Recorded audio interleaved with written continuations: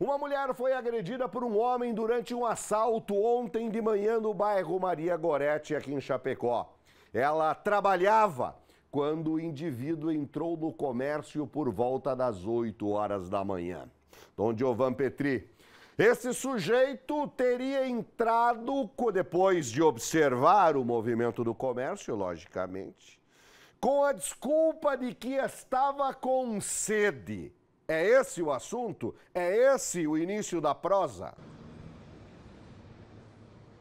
Pois é, Eduardo, exatamente. E isso aconteceu bem durante o dia, não foi à noite não. E essa mulher chegava ao estabelecimento quando então este homem pediu é, a ela um copo d'água e aí abordou ela e infelizmente a gente tem que contar essa história de que estuprou ela. Major Antônio, é, obrigado por nos atender. Infelizmente a gente conta mais essa história.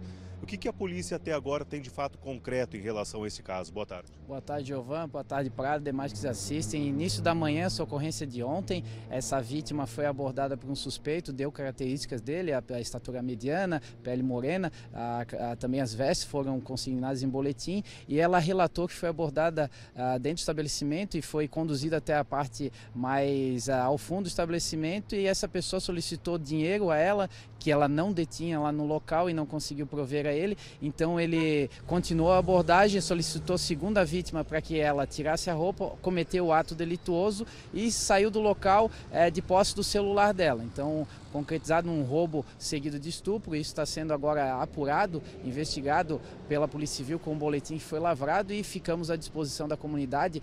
Pedimos até o auxílio nesse sentido, para que quem tiver alguma informação dessa situação, que foi no Maria Gorete, as imediações desse estabelecimento, daqui a pouco, se alguém tiver alguma informação para nos prover, ligar ao 190 ou no 181 da Polícia Civil, para que a gente consiga elucidar essa, esse delito. Agora, Major, é, algumas outras informações, ele estava armado, existem câmeras de segurança naquele local que possam ser utilizadas para a identificação de suspeito?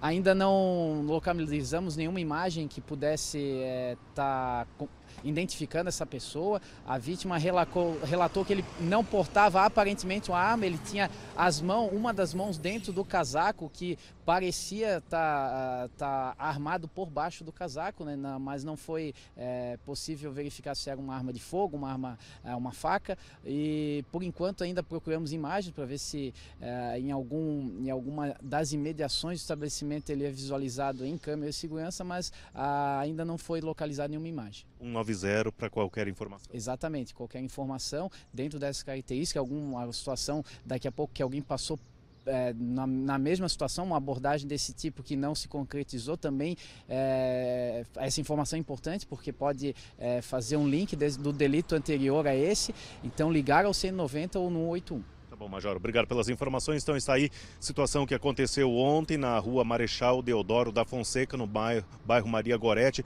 Quaisquer informações que você que está nos assistindo tenha, 190, esse é o telefone para fazer essa denúncia. Eduardo Prado. Obrigado, Dom Giovan Petri, obrigado ao Major Rafael Antônio, comandante do 2 Batalhão de Polícia Militar.